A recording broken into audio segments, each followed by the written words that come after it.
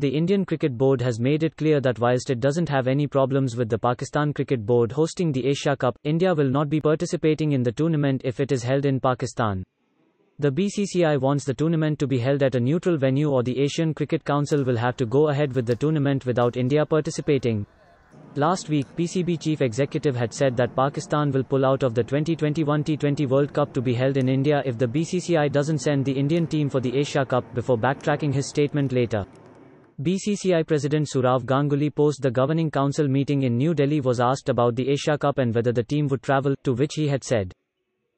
It's not discussed yet. It's not discussed yet.